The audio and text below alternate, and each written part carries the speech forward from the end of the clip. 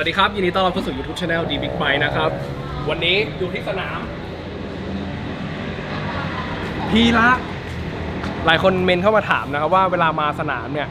ต้องเตรียมอะไรบ้าง ก็หลักๆ เตรียมเงินมาขี่ คือมาเวลาเรามาสนามนะไม่ว่าจะเป็นแต่ละที่ยกเว้นช้างที่เดียวนะครับ ส่วนใหญ่เขาจะมีแชร์แท็กอย่างเนี้ยวันหยุดถ้าไม่มีอีเวนต์ไม่มีอะไรอะเราก็เข้ามาที่สนามเลยแล้วเราก็เดี๋ยวก็มาถึงเขาก็จะมีคนมาเก็บอยู่พันหนึ่งพันห้าแล้วแต่สนามนะครับ อย่างที่นี่พีระก็พันห้าแล้วก็สิ่งที่เราต้องเตรียมเลสซิ่งสูตรเป็นสิ่งสำคัญนะครับ จริง ๆ บางคนบอกว่าใส่แค่ครึ่งท่อนแล้วก็กาดได้ไหมก็ดีกว่าไม่มีแต่ถ้าใส่พวกเนี้ยยังไงมันก็เซฟอุ่นใจไว้กว่านะครับ สบายใจกว่าแล้วถ่ายรูปมาแล้วมันหล่อด้วย พวกหมวกกันน็อกทั่วไปก็ไม่ต้องพูดอะไรมากนะหมวกกันน็อกอะไรไงเราก็ต้องเตรียมมาเป็นเรื่องปกติแล้วถุงมืออันนี้เกี่ยวกับอุปกรณ์ safety นะครับ แล้วก็รองเท้า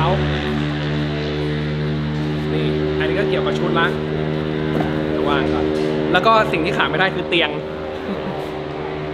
เห็นนะ เพราะว่าเวลาเราลงไปขี่เนี่ยมันใช้พลังงานเยอะมากเลยนะ ผมปกติผมลงอะผมจะจับ heart rate ตลอดเลยว่า heart rate เราวิ่งอยู่เท่าไหร่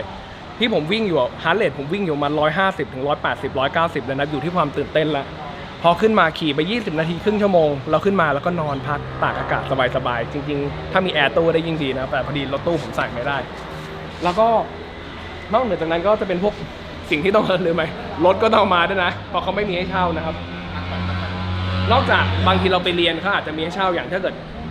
ถ้าเกิดใครอยู่แถวฝั่งธน ผมแนะนำไปเรียนกับอาจารย์กันอาจารย์กันใจดีสอนขี่บิ๊กไบค์นะครับลองไปดูเพจอาจารย์กันได้ ผมก็ศิษย์อาจารย์กันเหมือนกัน เขามีรถให้เช่าด้วยอะแล้วก็กลับมาที่ในนี้นะครับวันนี้ผมก็เอารถมา วันนี้เอา 1199 มาครับ ยังไม่เคยลองเลยแต่วันนี้ไปลองวนดู ว่าจะเป็นไงแต่เซ็ตรถเซ็ตช่วงล่างเซ็ตอะไรด้วยเพราะว่ารถคันนี้ยังไม่เคยลงแข่งนะครับ แล้วก็สิ่งที่ขาดไม่ได้เลยเนื่องจากผมใส่ยาง slick นะครับ ยาง slick ผมก็เลยต้องมีตัว warm ยางด้วย เพราะว่ายาง slick เนี่ยถ้าถ้ายางอุณหภูมิยังไม่ได้ ไปขี่แล้วมันจะคือยางมันยังแข็งอยู่มันยังมันจะไม่ค่อยเกาะนะครับมันมีโอกาสลื่นได้แต่ พอเราเนี่ยอุ่นไว้ไปถึงเราก็ลงไปไปเล่นเล่นได้เลยนะครับ เพราะว่าอุณหภูมิมันต่ำจะตั้งไว้ที่ 84 84 ตัด 84 ตัด 84 ตัดนะครับเดี๋ยว warm ไว้ประมาณชั่วโมงนึงเอาชัวร์นะครับ เราไม่เน้นฝีมือเราเน้นเราเน้นอุปกรณ์นะคือเรื่องขี่แท็กถามว่ารถรถที่ต้องขี่แท็กมีสิ่งสำคัญอะไรบ้าง ผมบอกได้เลยว่าหลัก ๆ คือเรื่องของ ยางแล้วก็ของเหลวนะครับ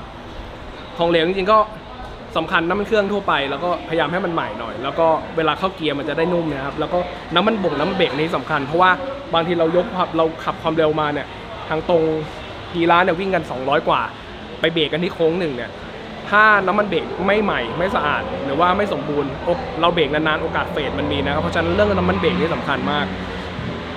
แล้วก็เรื่องยางยางเนี่ยเป็นสิ่งที่สำคัญที่สุด เสื้อผมมาได้ใช้เพราะว่ายางเลย เพราะว่าวันนั้นคือหนึ่งวอร์มยาง หลายอย่างวอร์มยางยังไม่ดี แต่วันนั้นไม่ได้ใส่ยางสลิงไม่ต้องไหนนั้นมาพอล้มปุ๊บเลยต้องเลยต้องใส่สลิงตลอดเลยนะครับ ไม่ได้ไม่ได้ฝีมืออะไรดีแต่ เราเน้นเอาชัวร์แล้วกันเพราะว่าคือยางติดยางเดิมติดรถอะยางเดิมที่เราใช้อยู่อะถามว่าเอามาวิ่งแข่งได้ไหมมันวิ่งได้ แต่ข้อแนะนำคือต้องวอร์มนะวอร์มในที่นี้คือ ถ้าไม่มีผ้าวอร์มยาง เราก็ไปวน วนในสนามนะครับอย่าเพิ่งสาดอย่าเพิ่งเล่นนะแล้วค่อยเลียเลียหน้ายางเปิดหน้ายางไปเรื่อยๆนะครับเพื่อให้อุณหภูมิยางมันได้ ยางร้อนในที่นี้คือไม่ได้ยางร้อนอย่างเดียวนะครับ ต้องให้อากาศภายในยางเนี่ยร้อนเลยอากาศภายในยางดังนิดนึงนะเปลี่ยนทิศเปลี่ยนทิศต้องให้อากาศภายในยางมันร้อนออกมาแผ่ออกมานะครับ นั่นแหละยางมันจะกริบที่สุด และสิ่งที่ขาดไม่ได้เลยนี่ นี่ อันนี้คือที่สูบลมนะครับ ผมบอกได้เลยว่ายางเนี่ยสำคัญอีกจุดหนึ่งที่สำคัญพอๆกับยางเลยคือเรื่องลมยางนะครับลมยางต้องไม่แข็งไปต้องไม่อ่อนไปบางคนมาถึงอัดหน้า 36 หลัง 42 เลยอันนั้นแข็งเกินไปนะครับโดยปกติ อันนี้อันนี้ส่วนตัวผมนะ ผมจะวิ่งอยู่หน้า 28 หลังประมาณ 26 27 โดยประมาณนะ บางที 25 ด้วยณตอนอุณหภูมิร้อนนะครับ อุณหภูมิร้อนคือวอร์มจนร้อนแล้วตัววอร์มยางฉันหายไปไหนน้อง ไปไม่ที่วัดลมยาง นี่ อันนี้ถึงเป็นสิ่งสำคัญนะครับ ไม่ใช่บอกว่าเราวัดจากที่บ้านมา แล้วค่อยมานี่ ก่อนที่จะลงแท็กทุกครั้งเนี่ย ผมจะวัดทุกครั้งเลยเพื่อว่าลมยางเป็นสิ่งสำคัญจริงๆ ยางหลังเนี่ยเราใส่ยางสลิงจริง แต่ยางหลังเราใส่ไปโอกาสที่มันดิ้นดิ้นดิ้นมันก็มีนะครับ เพราะว่าลมยางต้องเป๊ะผมว่าเป็นสิ่งสำคัญนะครับ ก่อนลง เพราะว่าหลัง บางทีเนี่ยก่อนที่เราจะลงไปอะเราบอกว่าลมยางเราได้ละ แต่พอเราวิ่งวนน่ะวิ่งวนวิ่งวนวิ่งวนจนอากาศมันร้อนอากาศมันขยายตัวลม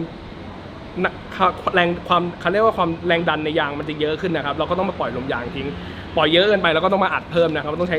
เนี่ยที่สูบลม เนื่องจากส่วนใหญ่ในสนามเขาไม่มีถังลมมาให้นะเราก็ต้องสูบลมอย่างนี้แหละปั๊มเอาปั๊มแป๊บเดียวนะครับ นี่แหละ เป็นสิ่งที่สำคัญเลยก็ หลายคนบอกว่าอยากฝึกขี่สนาม ผมแนะนำเลยนะ มาลองผิดลองถูกเองได้ไหมก็ได้ แต่แนะนำหาที่เรียนเนี่ยครับ ก็คือผมว่ามันจะทำให้เร็วขึ้นนะขนาดผมเรียนนี่ยังทุกนี้ขี่สนามมาเป็นปี แล้วยังรู้สึกหลงยังหลงทางหลงลายอยู่เลยนะ แต่ก็โอเคพวกนี้มันเป็นเรื่องที่ว่าเรา มันเหมือนเป็นความท้าทายของเราอะเราโจทย์ผมไม่ได้ว่าจะไปลงแข่งอะไรกับใครนะเราเหมือนขี่ออกกำลังกายแล้วกัน แต่โอเคทำไงให้ได้ท่าสวยทำไงให้ได้ความเร็วทำให้ไงให้แบบเราขี่แล้วไม่เหนื่อย ผมมาขี่สนามครั้งแรกเนี่ยเมื่อประมาณปีที่แล้วเนี่ยสามรอบอ้วก เพราะว่าเหมือนลายเราไม่แม่นแล้วก็จุดเบรกจุดยกคันเร่งเรามั่วไปหมด เพราะว่าเดี๋ยวรอเดี๋ยวรอรถไปก่อนด้วยความที่ผมขี่บนถนนน่ะ ใช้คาว่าสิบเกือบ 20 ปีอะ15 ปีอย่างน้อย ผมจำไม่ได้ประมาณ 15 ปีอย่างน้อยนะครับ เราเลยจำภาพที่เราต้องขี่ขับขี่ปลอดภัยเพราะว่าสมัยก่อน ผมจะไปเข้าคอร์สอบรมขับขี่ปลอดภัยนะขับนิฟทั้งขับยังไงให้มันปลอดภัยที่สุดนะครับ ซึ่งพอมาอยู่ในสนามการขับขี่แบบ racing มันเป็นอีกอารมณ์หนึ่งเลย ซึ่ง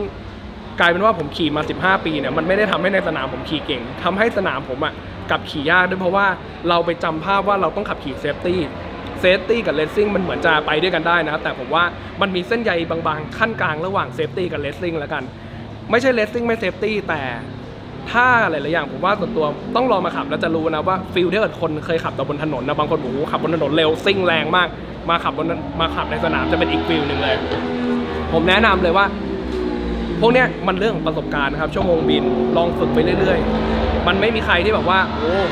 มาถึงขับวันแรกขับ อาทิตย์แรกแล้วเก่งเลย มันก็ต้องค่อยฝึกเคาะเคาะเคาะไปเรื่อยอย่างตัวผมเองผมมีปัญหาเรื่อง ต้องละลายพฤติกรรมเก่านะ เพราะว่าด้วยความที่เราจำ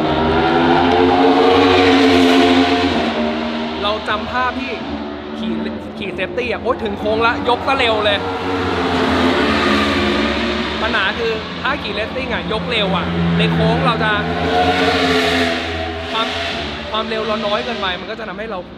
ท่าไม่ได้บ้างลายไม่ได้บ้างมันต้องแบบพอดีนะ ไม่ได้บอกว่าเราต้องเร็วปาดปาดปาดแต่อย่างน้อยอะผมว่าลายเนี่เป็นสิ่งสำคัญลายได้ความเร็วแต่มันจะมาเองนะครับซึ่งส่วนตัวผมทุกเนี้ยมาขี่แต่ละสนามลายยังวิ่งมั่วซั่วหมดแล้วต้องมีคนนำให้นะครับก็อยู่ที่เราต้องฝึกไปเรื่อยๆ ก็ยังบอกผมแนะนำว่าใครอยากจะฝึกขี่สนามเนี่ยบางทีงงไม่รู้จะอะไรยังไง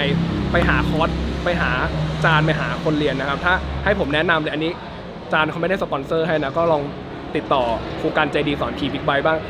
ถ้าอยู่แถวโซนนครปฐมฝั่งธนอาจารย์ก็จะอยู่ประจำอยู่ Thailand Circuit นะครับ Thailand Circuit เป็นสนามที่ผมว่าขี่ไทยแลนด์ได้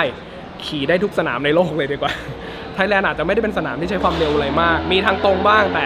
ผมว่าไทยแลนด์จะเป็นสนามที่ให้เราได้ฝึกท่าทุกท่านะครับ ให้เราเนี่ยแรกๆผมว่าฝึกไทยแลนด์น่ะดีเลยเพราะว่า เราต้องตัวเราต้องอย่าแข็งนะสำคัญตัวยังนี่ผมขี่มาเป็นปีตัวยังแข็งอยู่เลย ยังต้องฝึกนะครับก็ลองติดตามเพจกูการดูได้แล้วพระพักอาจจะได้เจอนะเพราะว่าทุกวันนี้ผมก็ยังไปเรียนอาจารย์การอยู่เลยมาแม่วันนี้เหมือนทำคลิปสปอนเซอร์ให้อาจารย์การเลย วันนี้ก็เรื่องราวโดยประมาณแล้วกันสำหรับคนที่อยากจะลองขี่ในสนามนะครับ ก็เตรียมรถอุปกรณ์ safety ท่าสนาม แล้วก็ สิ่งอำนวยความสะดวกจริงๆ ใช่ลืมพูดถึงน้ำก็เป็นน้ำนะครับ เครื่องดื่มเติมน้ำตาลเราพวกสปอนเซอร์ หรือว่าเกลือแร่อะไรก็ต้องเตรียมมาเพราะว่าขี่พวกนี้มันเหนื่อยจริง เราเสียเหงื่อเยอะ เราต้องเติมน้ำเยอะนะเพราะอย่างบางสนามเขาไม่มีร้านขายน้ำนะครับ ขี่จนเป็น heat stroke เลยก็อาจจะ heat stroke ได้เพราะว่ามันไม่มีน้ำขายแล้วก็น้ำเป็นสิ่งสำคัญที่ต้องคอยเตรียมนะนอกนั้นก็เล็กๆน้อยๆเตียงเติงพัดลมอะไรก็ว่ากันไปนะครับ แต่สำหรับคนที่บอกอยากจะมาสนามต้องเช็ควันสนามดีนะเพราะว่าในแต่ละสนามบางทีเขามีอีเวนต์